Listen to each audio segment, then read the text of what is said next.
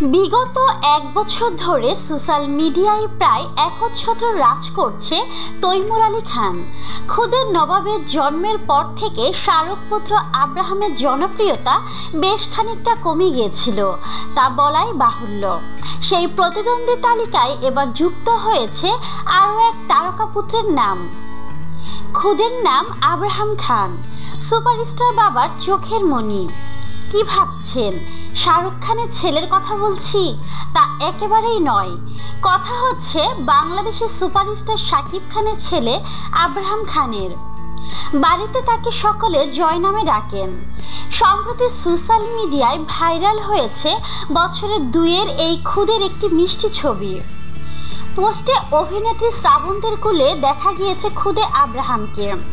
গত সপ্তাহে এসকে মুভিজের নতুন ছবি ভাইজান এলোরের শুটিং চলছিল শিলিগুড়িতে।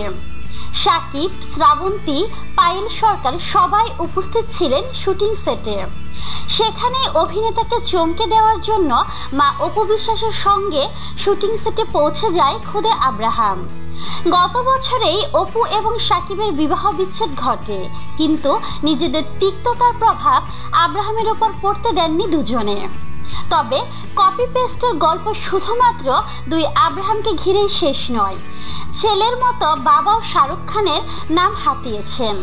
শাহরুখের ইনস্টাগ্রাম এবং টুইটার হ্যান্ডেলের নাম আই অ্যাম অসারকে এর সঙ্গে সামঞ্জস্য রেখে নিজের সোশ্যাল অ্যাকাউন্টের নাম আই এম এস কে রেখেছেন